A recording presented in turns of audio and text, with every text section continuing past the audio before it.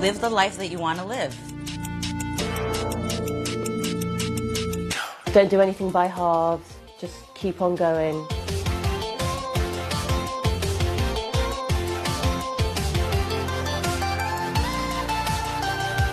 This is my 24 by 24.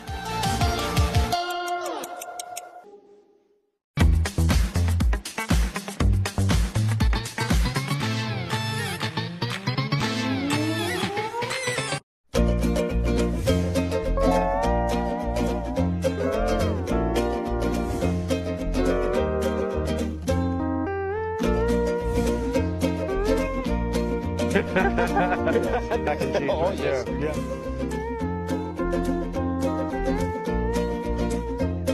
That was very good. Absolutely. Let's get cooking.